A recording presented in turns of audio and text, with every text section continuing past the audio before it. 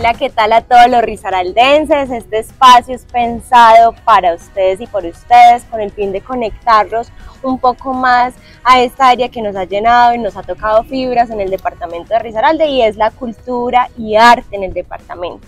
Hoy tenemos una invitada muy muy especial, ella es Erika Joana Rengifo, es una de nuestras formadoras de a nivel departamental que entra por convocatoria hace cuántos años, Eri? Hace tres años. Hace tres años una convocatoria pública que impulsó la Dirección de Cultura y bueno, quiero contarles un poquito, ella es artista plástica, formadora con enfoque de género y uno de los retos principales que yo le puse cuando trabajamos y empezamos a trabajar en esta dirección era que pudiéramos hablar o, o embellecer nuestro departamento de Risaralda a través del arte mural. Y yo quiero empezar con esa pregunta. Contémosle a todos los risaraldenses qué es el muralismo. Bueno, primero que todo, eh, buen día para todos y todas. Eh, bueno, el ejercicio del muralismo es un ejercicio que lo que hace es mm, sacar de las élites la imagen gráfica o la imagen visual y crear pues como unos entornos donde no solo es uno como artista el que participa de la creación de la obra, sino que es un ejercicio colectivo. Y al ser colectivo el ejercicio se vuelve mucho más fructífero porque entonces hay una mejor relación con la comunidad, hay un mayor impacto y la imagen tiende a ser pues como más, mm, albergar unos códigos visuales más dicientes. Y yo creo que eso ha hecho parte de trascender también en el arte, porque veamos muchos procesos antes, cuando llegan a una comunidad e inclusive la comunidad no se identifica con ese proceso. Contémosles un poquito a los risaraldenses cómo ha sido ese proceso formativo que tú has liderado en el, en el departamento. Ha sido un proceso bellísimo, muy bello y también muy retador, ¿no? Ha sido como un desafío porque mm, mayormente he podido, como tenemos libertad de cátedra dentro de este proceso de formación, que me parece que es una de las, de las particularidades que más se deben resaltar precisamente de este proceso. Y, y el reto es cuando uno tiene esa libertad de cátedra y llega a las comunidades y las comunidades a veces no, no tienen la mejor relación específicamente con las artes plásticas. Vemos que el departamento tiene mayor presencia de danzas, de teatro, sobre todo de música, pero las artes plásticas es mm, todavía muy invisible, ¿cierto? Y cuando llega uno, el reto para que la gente, por ejemplo, las comunidades indígenas, conozcan qué es el muralismo, conozcan qué es el lanar, la instalación. Allí hay como una, una cooperatividad de saberes, no solo del saber que uno desde Occidente les lleva a las comunidades, sino también ese saber que ellos de, alguna, de muchas formas ya tienen y eso se, se aplica dentro de la imagen. Entonces, creo que el, proceso de formación municipal y departamental ha tenido un impacto bellísimo porque hemos creado un lenguaje para todos y todas y ha hecho, por ejemplo, que muchas comunidades en zonas veredales tengan mayor visibilidad, porque al tener una imagen que los represente y eso se traslade a otras zonas más del casco urbano, por ejemplo, vamos creando como unos códigos artísticos y culturales como más, más fortalecidos. Me parece un proceso bellísimo. Además, porque quiero contarle a todos los risaraldenses que cuando llegamos a esta dirección departamental quisimos ponernos ese reto. Solo teníamos danza, música, teatro, formadores y quisimos implementar artes aplicadas, artes visuales y promoción de lectura. Y yo creo que eso es un plus y un gran reto que te tocó a ti desde que iniciamos en este proceso formativo. Bueno, contémosle un poquito a los risaraldenses qué es el proceso de formación a formadores. Yo creo que es el que más les ha costado a ustedes. Sí, sí, el, proceso de formación a formadores es un proceso que intenta en, otorgar y entregar una serie de medios y herramientas pedagógicas y artísticas al, al demás público formativo. Digamos que en el transcurso de estos años que me ha correspondido hacer parte de ese proceso, ha tenido como una evolución muy bella, porque este año logramos desarrollar este proceso de la mano de la coordinadora, que es una mujer muy juiciosa, que también fue muy buena decisión pues que, que estuviese acompañando nuestros procesos de formación. Con ella creamos el proceso de formación a manera de seminario. Entonces allí sí se vio realmente como un impacto más real sobre los procesos que se le entregan a los demás profesores, mm. profesoras, formadores del departamento. Además es muy bello porque, mm, porque mucha gente de zonas muy lejanas se trasladaron hasta, hasta el municipio de Santa Rosa para recibir este proceso, esta jornada que fue extensiva. Entonces creo que sí ha sido un proceso que ha evolucionado y que espero que continúe porque es, es lo mejor, es lo mejor que le puede pasar a los municipios. Además porque formación a formadores no solo es para nuestros artistas formadores, esta formación a formadores llega a las instituciones educativas, a los formadores profes de matemáticas, de licenciaturas, de diferentes áreas que quieren a través del arte empezar a potencializar esas enseñanzas en cada una de sus materias. Entonces yo creo que este seminario, ese trabajo que ustedes hacen en terreno es súper importante. Bueno, ya hablamos de lo bueno, pero también aquí es también ponernos retos y mirar cuáles son las dificultades de pronto a manera personal que crees que ha tenido el proceso de formación.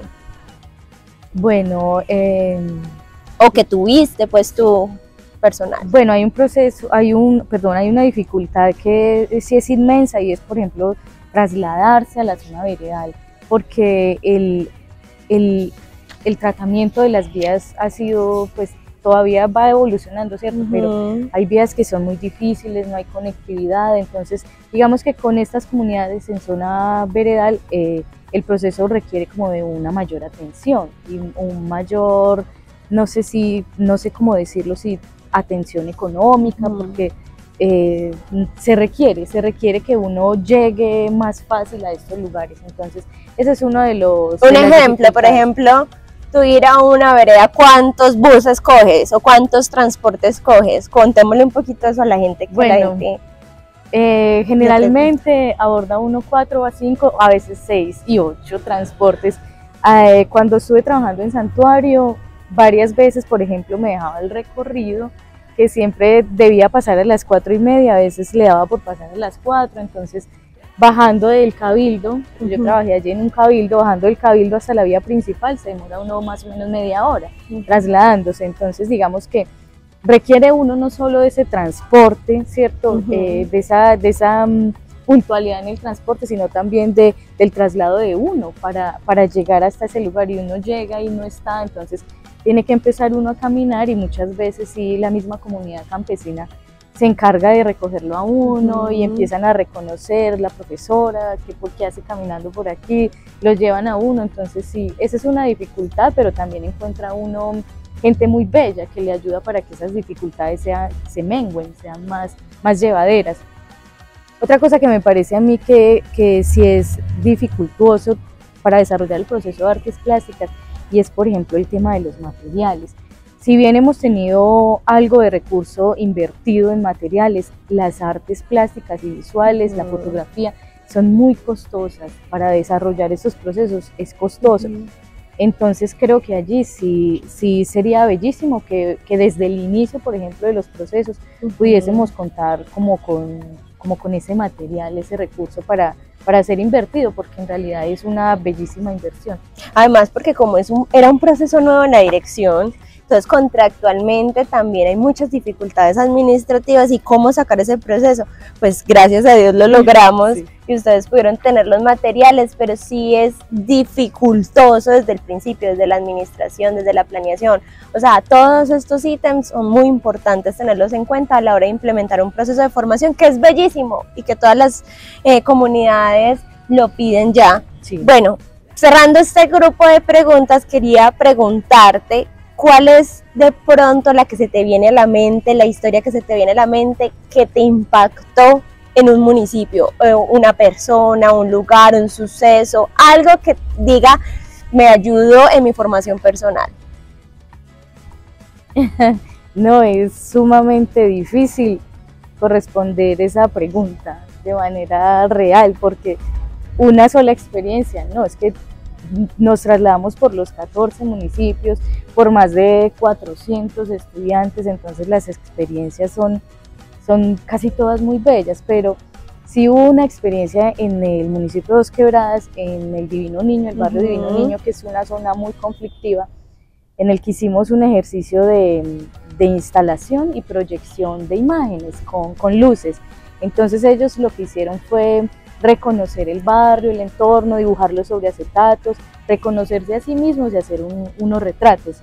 Y cuando eso lo proyectamos con luz dentro del espacio, pues se veían las paredes. Entonces, eh, ellos empezaron a pensar que su realidad era diferente, ¿no? Y que se podía construir una realidad eh, como más tranquila del entorno. Esa es una experiencia bellísima. Otra experiencia es, por ejemplo, haber, haber acercado a la comunidad indígena a los procesos del muralismo, a los procesos del lanar, que están sumamente relacionados con los procesos nativos de ellos, del color, de la extracción de, la pintura a través de, la tierra, de las plantas. Esto es una experiencia que me parece a mí bellísima porque hizo no solo que ellos encontraran un nuevo lenguaje para comunicarse y expresarse, sino también como que nosotros ampliáramos, en mi caso se ampliara pues digamos que ese proceso em, de aprendizaje a un proceso también nativo del color, ¿no? Y además, si yo no tengo casi siempre materiales, ¿cómo puedo ser recursiva y crear el mismo color a través de lo que está en el entorno? Esto también es una experiencia bella. Y para culminar, porque de verdad son muchas, hay un grupo de mujeres artesanas y campesinas en mi estrato con el que yo trabajo ya durante dos años. Con ellas ha sido muy bello porque ellas pensaban que yo iba a llegar a enseñarles artesanías y manualidades, pero yo no llegué a enseñarles esto, yo llegué a enseñarles el proceso de reconocimiento de la imagen, del color, de la composición y este año espero que tengamos una exposición bellísima. Estamos creando unos cuadros en los que se refleja el acervo cultural y todo ha sido construido por ellas digamos que yo ya no tengo que estar ahí todo el tiempo pendiente de que si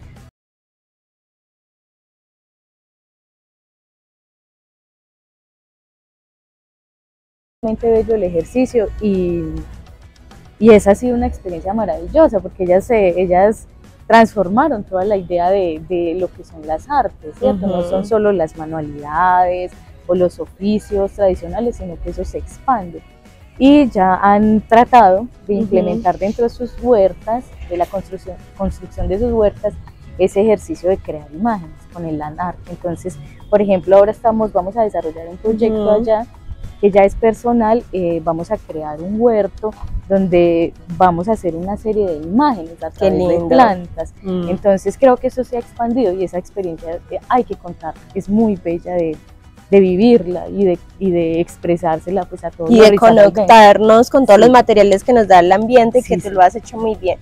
Bueno, vamos a hacer preguntas de sí, no, solo me vas a responder sí, no. vamos a tener dos preguntas. ¿Fue grata la experiencia como formadora departamental? Sí. ¿Con el ejercicio en terreno crees que se hace necesario más formadores? Sí. Y bueno, vamos a hacer Preguntas rápidas para escoger. ¿Muralismo o hoy painting? Muralismo. ¿Formadora o artista? Artista formadora. no una. Por ahora formadora. ¿Pinceles o colores? Pinceles. ¿Óleo o acuarela? Acuarela vamos a tener un bonus y es que me hagas una pregunta, lo que quieras hacerme. eso, es una, eso es algo muy importante porque nosotros tenemos muchos espacios donde nos vemos, eh, obviamente profesionalmente, en comités, pero solo siempre ha habido eh, una comunicación desde la formación hacia eh, la dirección, ¿cierto? ¿Qué, ¿Qué dificultades han tenido? ¿Cómo las han podido vivir? O sea, más de yo escucharlos a ellos en los procesos, entonces que tú me preguntes algo es importante tenerlo aquí en esta, en esta entrevista. Bueno, en Marsella, en Marsella, ¿tú qué recuerdas, por ejemplo, el proceso que yo desarrollé en Marsella? Estuviste en Suratena, hiciste un mural súper lindo con la comunidad de Suratena la Suratena es un resguardo indígena, uno de los más grandes resguardos que tiene el municipio de Marsella. yo creo que tienen más de mil. Es grande, ya está consolidado. Es, inmenso. Más de mil personas que habitan allí y tú hiciste un mural que también fue muy retador porque al principio no teníamos los insumos, los materiales, los, eh, ahí participaron niños, adultos, y al final, o sea, como la dignificación de ese espacio en ese mural, que me pareció muy lindo que ellos pintaran los pájaros que pintaron y otros elementos. Creo que es un trabajo muy retador y que de verdad me da la garantía de saber que tengo muy buen equipo en formación y en terreno. Incluso el gobernador indígena participó pintando ya la escuela. Primero pintamos el centro de pensamiento